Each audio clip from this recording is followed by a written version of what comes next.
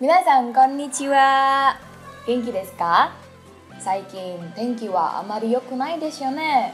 一日中時々雨が降って晴れになってそれで曇りになって。風も強いしちょっと怖いですね。今のところはやっぱり家にいる方が一番いいですね。皆さんもちゃんとビタミンを忘れないでください。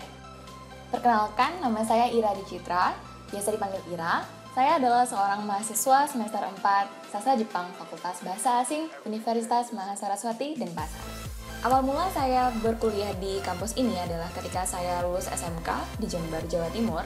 Saat itu saya langsung dikontrak oleh salah satu perusahaan di Bali untuk bekerja. Dan saat itu saya sangat berambisi untuk hidup mandiri tanpa bantuan orang lain, khususnya orang tua dan saya ingin belajar bagaimana cara hidup dimulai dari nol. I really want to stand on my own feet and challenge myself that I'm not a baby anymore and it's time to fly. Jadi saya pergi ke Bali untuk bekerja saat saya masih berusia 18 tahun.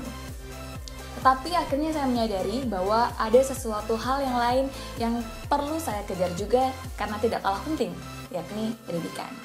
Permasalahan yang saya temui saat itu adalah bagaimana cara saya berkuliah di saat saya harus bekerja.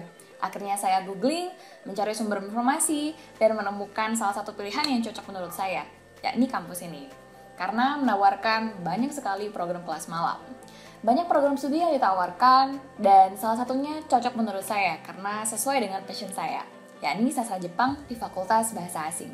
Sejak kecil saya sangat menyukai bahasa asing, karena menurut saya, bahasa asing merupakan kunci emas untuk membuka pintu relasi di era globalisasi ini. Saya telah menguasai bahasa Inggris dan juga sempat belajar bahasa Jerman sewaktu di bangku SMK. Dan bahasa Jepang adalah salah satu bahasa yang saya incar sejak saya SMP. Oleh karena itu, tanpa pinggir panjang, akhirnya saya daftar dan masuk ke sastra Jepang di Fakultas Bahasa Asing di Universitas Mahasiswati dan Pasar. Saya benar-benar tidak menyesali keputusan saya, karena di sini saya belajar banyak hal. Tidak hanya belajar bahasa, saya juga belajar kebudayaan Jepang itu sendiri, yang mana baik untuk diterapkan dan dicontoh dalam kehidupan kita sehari-hari. Jika teman-teman bertanya, apakah bisa bekerja sambil kuliah? Bisa, tentu saja. Kemudian, apakah berat menjalani keduanya? Tentu saja berat. Saya harus bijaksana dalam membagi waktu saya untuk bekerja, kuliah, belajar, dan juga istirahat. Tapi segala sesuatu akan menjadi menyenangkan apabila kita bersungguh-sungguh, berniat, dan berusaha. Jika ada kemauan, pasti ada jalan. Last but not least, for me working is very important. It gives you a weapon to survive in life. But education is not less important. It is a power for you to boost your weapon not only to survive in this level, but also help you to reach another stage of life, to reach the top.